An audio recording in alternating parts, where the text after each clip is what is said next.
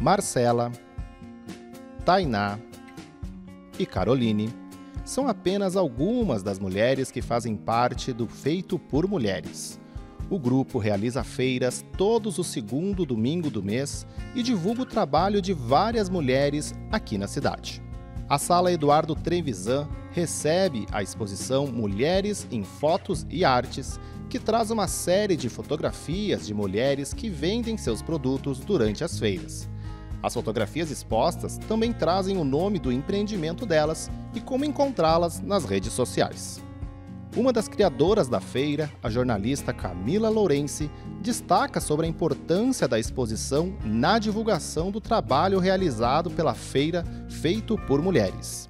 A importância da exposição é também de divulgar né, a feira, né, o projeto, o coletivo, mas também de divulgar cada um dos empreendimentos que estão aqui expostos. É, cada foto né, tem a, o nome dessa empreendedora, o, a, o seu arroba, para também as pessoas conhecerem os seus empreendimentos.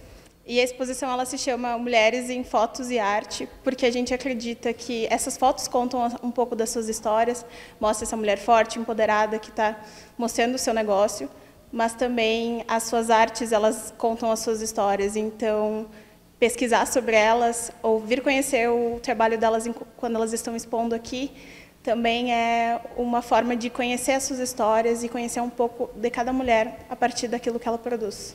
A exposição ocorre até o próximo dia 20 de março, durante o horário de expediente da Casa Legislativa.